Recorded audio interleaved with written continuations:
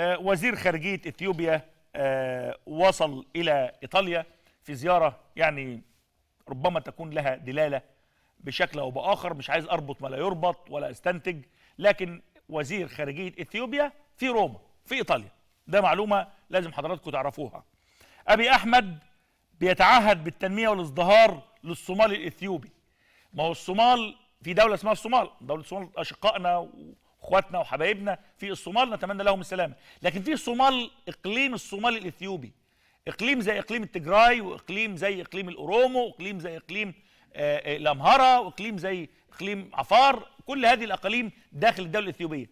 النهاردة لأنه إقليم الصومال الإثيوبي بيدعم الحكومة الفيدرالية ضد إقليم التجراي. لذلك آه، أبي أحمد وعد الإقليم بإن شاء الله يكون في تنمية وازدهار في هذا الإقليم خلال المرحلة القادمة وبعد القضاء على الجبهة الشعبية لتحرير التجراي ميليشيات الأمهرة آه، أو قوات الأمهرة بتحرق وتهدم بيوت آه، قبائل التجراي في مدينة الحمراء وتسرق كل محتوياتها. يبقى دلوقتي حضراتكم في حضراتكم في معركة دائرة بين الحكومة الفيدرالية الإثيوبية وبين جبهة تحرير التجراي في الشمال وانضمت قبائل الأمهرة بقواتها المحلية لنزاع للنزاع. وبدأ إقليم التجراي بيحارب في نفس الوقت الأمهرة وبيحارب الحكومة الفيدرالية. الأمهرة والتجري قبائل وأنا ما يقلقني هنا أنه الموضوع لم يعد بين حكومة اتحادية وإقليم متمرد وإنما الموضوع امتدت أثاره وامتدت نيرانه إلى أقاليم وعرقيات وقبائل أخشى. ما أخشاه ألا تنطفئ نار الفتنة التي اشتعلت في شمال إثيوبيا.